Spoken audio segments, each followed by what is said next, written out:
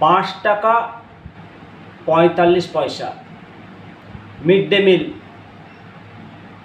চালাতে হিমশিম খাচ্ছে সমস্ত স্কুল, সমস্ত অঙ্গনওয়াড়ি কেন্দ্রগুলো। পাঁচ টাকা পঁয়তাল্লিশ পয়সায় কি চলে? যে হারে সবজি বা আনাজের দাম বৃদ্ধি পেয়েছে সবজির বাজার আগুন, তাতে মিড ডে মিল চালাতে গিয়ে বিদ্যালয়ের প্রধান শিক্ষক, নোডাল টিচার, অঙ্গনওয়াড়ি কেন্দ্রের সহায়িকাদের চিন্তা বেড়েছে। জিনিসপত্রের অস্বাভাবিক মূল্যবৃদ্ধি এই অস্বাভাবিক মূল্যবৃদ্ধির ফলে খরচ বেড়েছে। খরচের যে বর্ধিত অংশ, এই বর্ধিত অংশ মেটাতে না পেরে ধারের খাতা বাড়ছে। কখনো কখনো শিক্ষকদের পকেট থেকে টাকা পরিশোধ করতে হচ্ছে। সমস্যা হলো যে সমস্ত বিদ্যালয়গুলোতে ছাত্র সংখ্যা কম, পঞ্চাশের নিচে, তাদের অবস্থা আরও সঙ্গীন এবং হিমশিম খাচ্ছে। একথা স্বীকার করতেই হবে। পাঁচ টাকা পঁয়তাল্লিশ পয়সা বরাদ্দ কোনো বিদ্যালয়ে যদি তিরিশ জন ছাত্র থাকে, তাহলে সর্বসাকুল্যে একশো তেষট্টি টাকা মতো বরাদ্দ, তার মধ্যে গ্যাসের খরচ প্রায় পঞ্চাশ টাকার কাছাকাছি। এমত অবস্থায় যদি পঞ্চাশ টাকা গ্যাসের খরচ হয়, তাহলে একশো তেরো টাকায় তিরিশ জনের রান্না করা কার্যত অসম্ভব।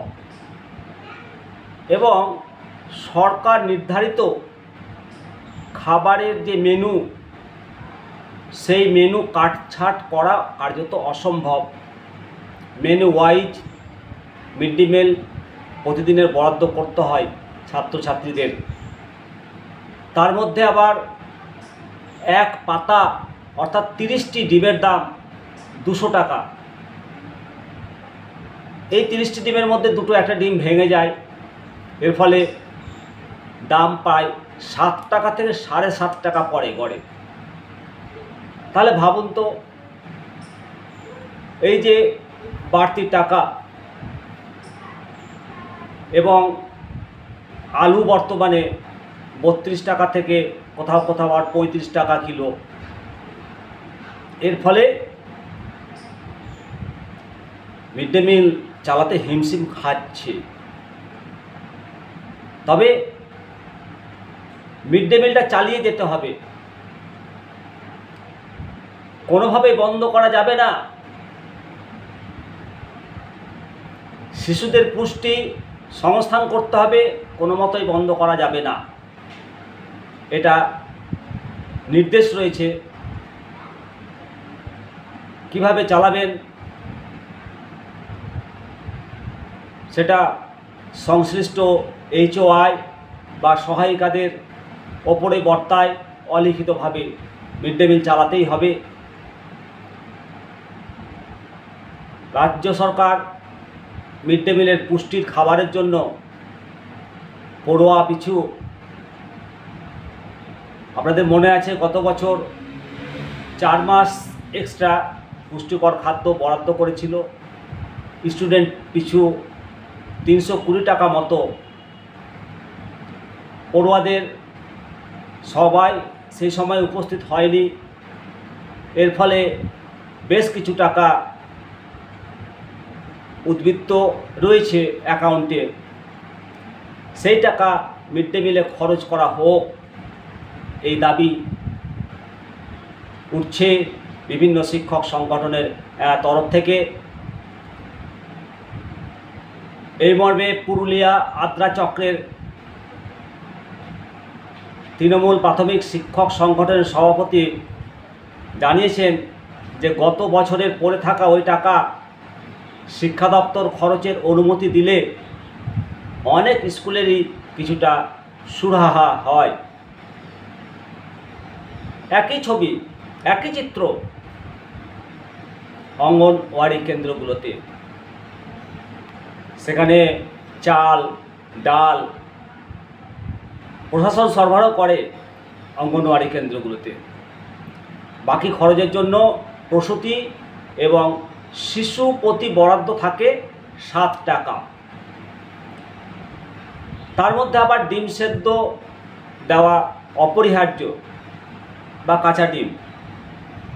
অনেক কেন্দ্রে যেদিন খিচুড়ি হয়, সেদিন প্রসূতিদের জন্য আলু বরাদ্দ থাকে পঞ্চাশ গ্রাম। এবং আনাজের জন্য দেওয়া হয় প্রসূতি প্রতি তেইশ পয়সা। প্রসূতি প্রতি তেইশ পয়সা আনাজ কেনার জন্য দেওয়া হয়। তাতে আনাজ কেনা কি সম্ভব? অঙ্গনওয়াড়ি কর্মীরা এ মর্মে প্রশ্ন তুলছেন।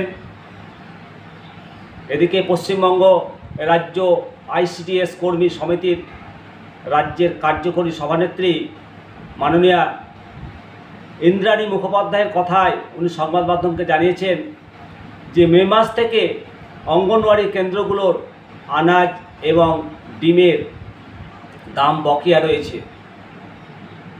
ধারের ওপর ধার বাড়ছে। বর্তমানে যা বাজার দর, তাতে এবার ধার পেতেও সমস্যা হচ্ছে। সরকার পদক্ষেপ করুক। অবশ্যই। যেভাবে অগ্নিমূল্য বাজার তাতে ধার দিচ্ছে না দোকানদাররা। আইসিডিএস কর্মীরা অসহায় শিক্ষকরা অসহায়। অবশ্যই মহামান্য সুপ্রিম কোর্টের নির্দেশে মিড ডে মিল চলছে। এই মিড ডে মিল ইমপ্লিমেন্ট করার ফলে রাজ্যে তথা সারা দেশে ড্রপ আউট সংখ্যা কমেছে এবং বিদ্যালয় অঙ্গন ছাত্রে ছাত্রে ভর্তি হয়েছে। সুতরাং শিশু, শিশুর পুষ্টি যদি ভালোভাবে বরাদ্দ করতে হয়, তাহলে পাঁচ টাকা পঁয়তাল্লিশে হয় না। তাই শিক্ষা দপ্তর তথা রাজ্য সরকার অবশ্যই ব্যাপারটা ভাবা দরকার। যে মিড ডে মিলের বরাদ্দ অবশ্যই বাড়ানো দরকার। রাজ্য সরকার যেমন বহু চিন্তা ভাবনা করার পর মিড ডে মিলের যারা ওয়ার্কার, তাদের রোজ বাড়িয়েছে। এখন দু হাজার টাকা মিড ডে মিলের রাঁধুনিদের করেছে। অনুরূপভাবে শিশুদের ক্ষেত্রে পুষ্টিকর আহারের ব্যবস্থা করুক এবং এই বরাদ্দ বাড়ানো হোক, এটা দাবি রাখি। অবশ্যই আপনারা কমেন্ট বক্সে কমেন্ট করবেন। দেখতে থাকুন নিমতিতা দর্শন। সকলের সঙ্গে আমি শিবরাম সরকার। নমস্কার।